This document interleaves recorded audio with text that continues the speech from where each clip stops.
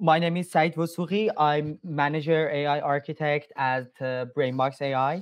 I'm so happy to be here presenting uh, about utilizing AI in uh, HVAC to help fight the climate change. Uh, do you see my slides already, Adam? Yes, sir. Yes, we do. Okay, perfect. So uh, um, you know, without you know further delay, I jump into the topic. I just first want to take a couple of uh, sentences to introduce Brainbox AI, and then I will start about the topic that I want to cover. So, uh, Brainbox AI is a, um, a, a an AI company founded in 2017, and the technology was launched in 2019, May 2019. Uh, we are headquartered here in Montreal, Canada.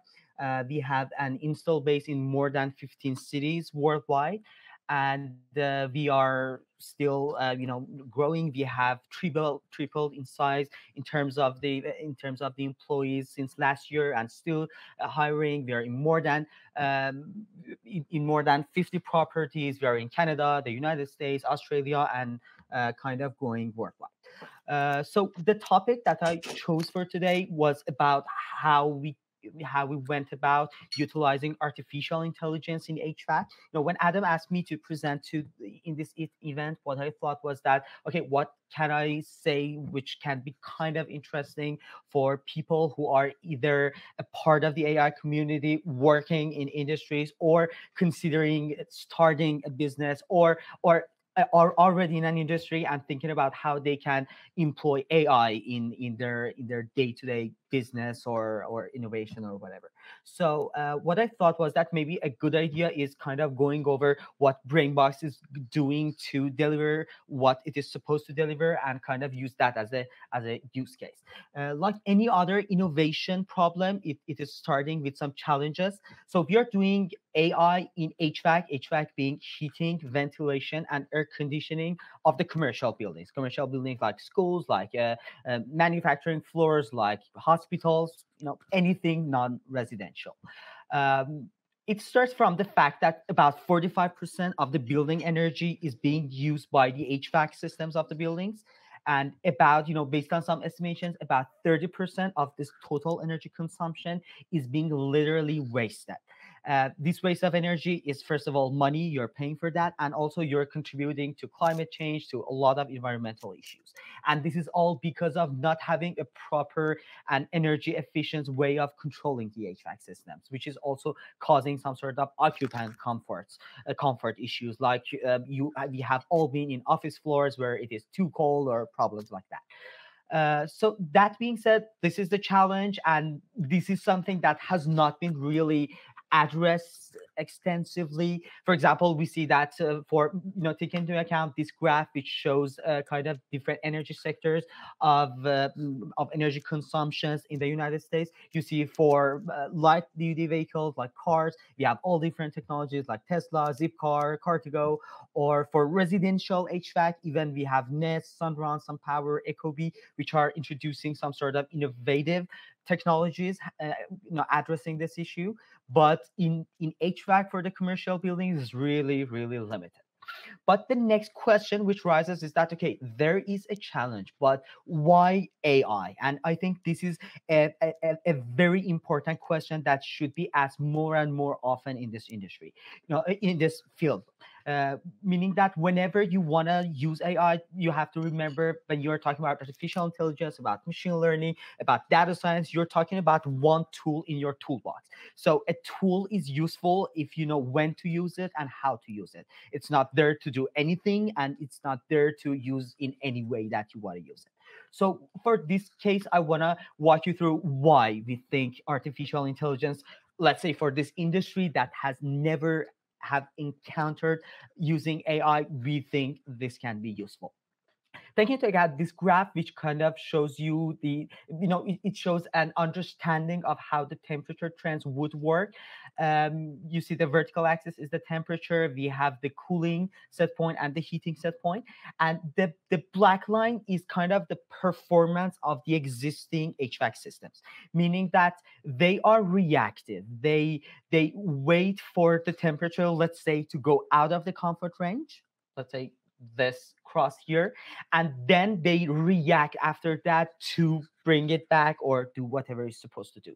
So there is two issues here. The first issue is that when you're getting here you already lost it. You're already out of the comfort range. Yes it is not the worst thing which is happening not necessarily people are are dying in that building but uh, also it is not comfortable. It is already a comfort issue. And at the same time think about all the all this drift which is happening and then you need to pay pay energy for it to bring it back and probably even in a lot of buildings you might be over cooling it and then even heating in, in some hot summer days in some commercial buildings which is a huge loss of energy.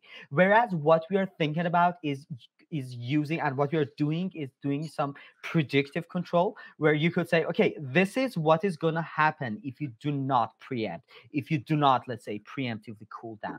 And then in in that fashion you can uh, you know maintain the temperature within the zone without too much energy usage. So this is to somehow give the idea of why we think predictive methodologies could work better for our industry. And then we are going another extra mile to thinking about okay we are having the autonomous cars.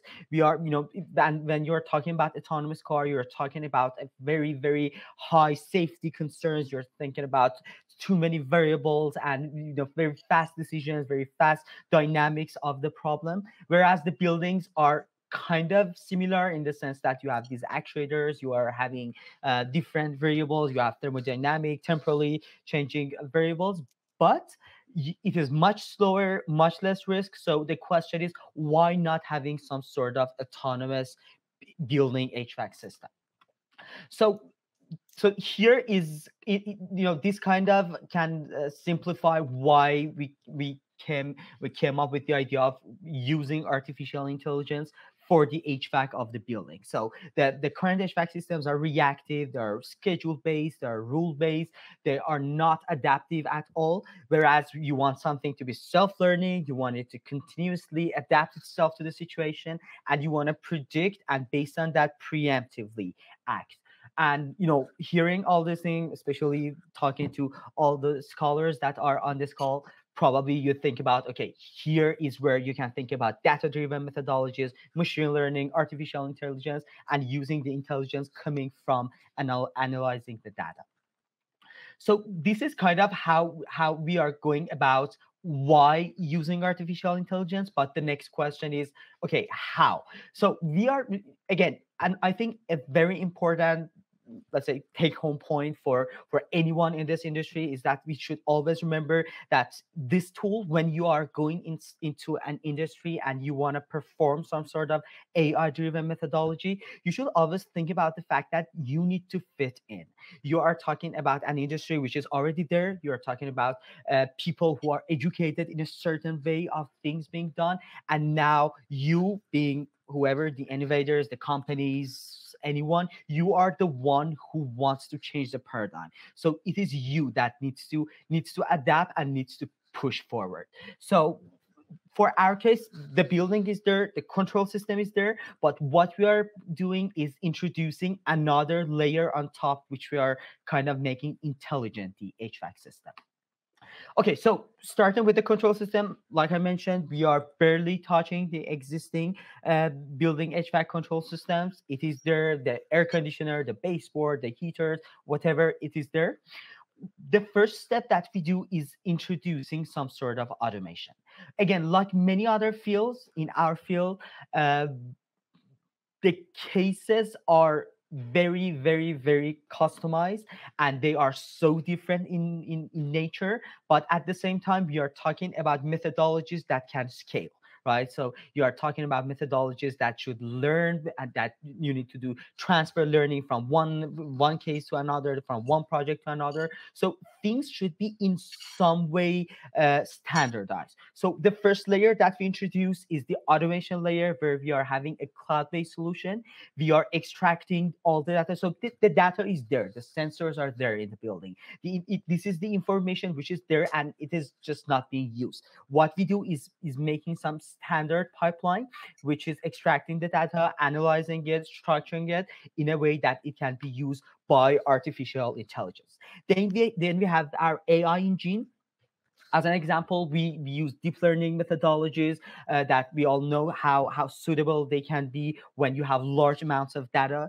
We, you know, for our case, it is we are always talking about the temperature trends, about the humidity trends. So it is always temporally dynamic data, time series data, and uh, first thing that comes to my mind okay recurrent neural networks for example let's say long short-term memories. So what what you, you can do in this case is kind of using these recurrent neural networks to take advantage of the history of the data which is kind of giving you how how the thermal behavior of the building is and then and also using the recent trends of the data so that it can tell you where the building is headed. And where the building is headed you're talking about the temperature about the occupancy you're talking about the humidity and, or and whatever pertains to the to the h to, to the thermodynamics of the building. And the next step is you know this ai is giving us predictions that you can see it as some sort of insight so it is giving you insights and then these insights are being used in optimization schemas. So you are, you know, just see this way you are having the conventional control of the building which is saying okay this is the temperature this is the set point compare when the set temperature is out of the set points then do something whereas here let's say your AI engine is telling you two hours in advance what's going to happen in the future. And now you can plan for the optimal way with, with the minimal uh, loss of energy to maintain the occupant comfort that you want to maintain. So then this goes into a 24 hours a day, seven days a week, all weeks of the year of constant learning, predicting, comparing, and acting, which kind of uh, uh, you know, results in the autonomous buildings that we talked about in the beginning of the presentation.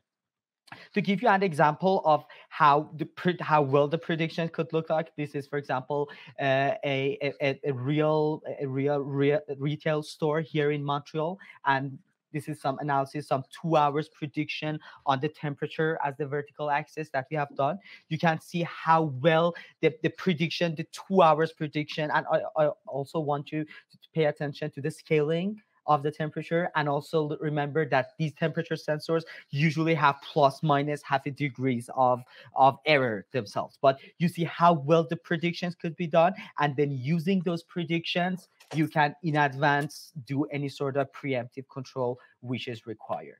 And you know using all these things uh, you can create value. And so so this is kind of you know for example for our case it is up to 25% of energy saving. Energy saving means, um, you know, decrease in carbon foot, footprint coming from uh, from the, you know, uh, the, the production of the energy and the energy cycle. And also we are seeing 60, about 60% of improvement in occupant comfort with an autonomous technology, which is getting installed in two to three hours. So generally speaking, here we are talking about how to how to know an industry. You should always start with the challenge. Then you need need to talk about why this challenge requires this sort of treatment let's say data driven methodologies or machine learning or whatever innovative technology that you want to use and then it's about how to let it fit in the industry that you are uh, that you are kind of addressing uh, I think I'm almost on top of my time, so I'll I'll stop here. Thank you so much for your time and attention. Uh, I I really urge you to uh, visit our website. We have our white paper, so if you want more details that could not kind of that maybe um, uh, fit into the scope of this presentation, you can use that. And any questions offline or online, I'd be glad to take.